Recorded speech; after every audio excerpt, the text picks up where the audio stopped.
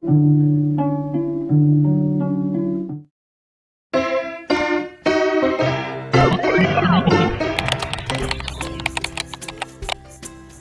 么是动物的迁徙廊道？通俗的说，什么叫廊道呢？就是说我们是对那个两个被隔离开的这个栖息地斑块之间，哈，我们就像建一个走廊似的，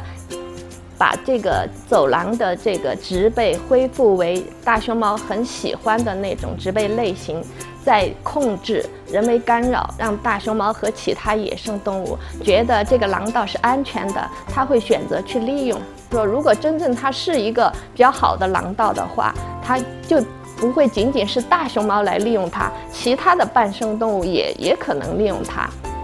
比如说，我们那个进行了，就是说对植被恢复，它就是立足于模仿大熊猫最喜欢的栖息环境来恢复植被。这个植被就不仅仅是有这个竹，更多的它它还必须有高大的乔木。因为大熊猫最喜欢的是，就是说相对来说是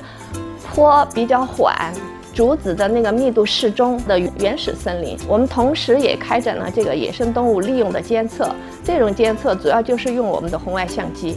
从二零二零年和今年，我们有有些廊道已经拍到了这个大熊猫个体的影像，这就说对我们来说是非常那个鼓舞的哈，就说说明我们前期的一些工作还是有成效。